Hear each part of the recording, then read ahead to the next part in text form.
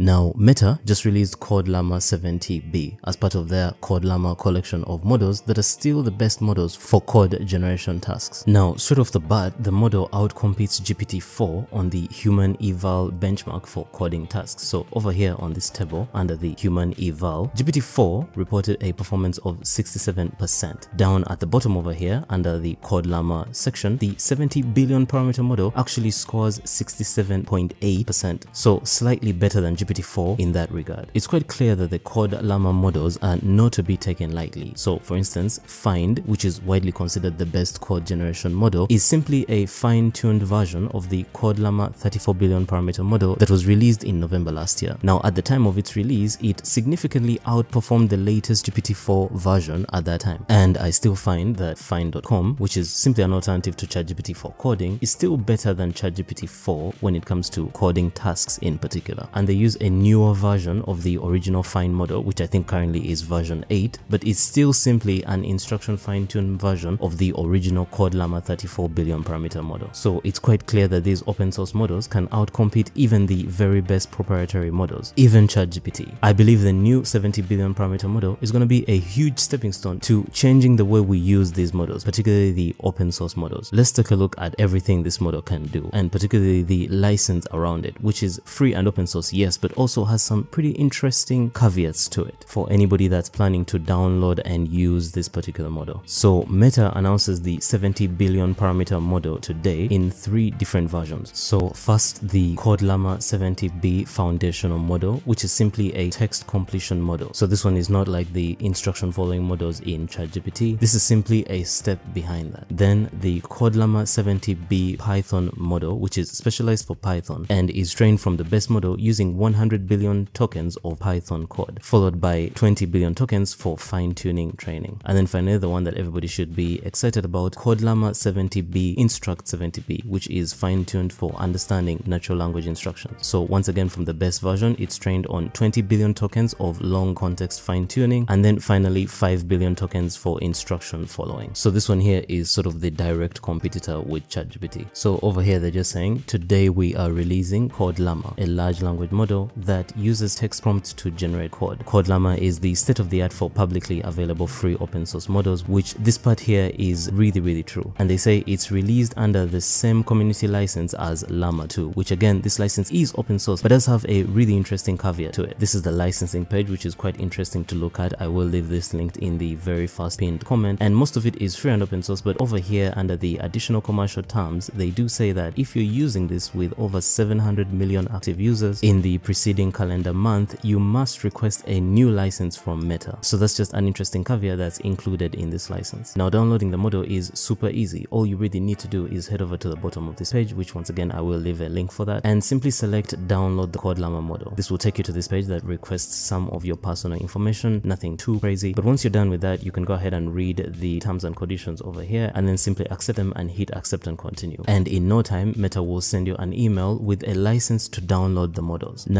inferring and training on the models is slightly more complicated as you will need a really powerful GPU to do that. But over here on Scilog, they do suggest that you need at least 32 GB of RAM to infer and train the 70 billion parameter models. Now, this is well within the ballpark of the NVIDIA H100 80GB PCIe 80GB GPU, which you can access using a RunPod setup. So I will leave the link to RunPods in the description. So what does this mean for code generation LLMs going forward? Now, there's people out there that have clearly stated that these free open source models are going to clearly outcompete any closed source proprietary model. Now, I can't be too sure about this considering the new systems of inferencing that are coming out in GPT-5, but at least for the current generation of LLMs, we definitely are going to see a shift where these free open source models are going to become significantly better than these closed source proprietary models. Now, I'm quite interested in hearing exactly what you guys are going to use going forward. So I've gone ahead and left a poll for this under this video. Now, I personally still have a GPT Plus subscription, but I do use Phind and DeepSeek a lot more when it comes to coding tasks. But again, like I said, I am quite interested in hearing exactly what you guys are using in both the comment section and the poll that I will leave under this video. Thanks a bunch for watching. Hopefully this video has been super informative. I massively, massively appreciate it when you guys subscribe to this channel. So make sure you scroll down right now and hit that subscribe button to help us reach our 1000 subscriber goal by the end of this month. I will catch you guys in the next one. Peace out.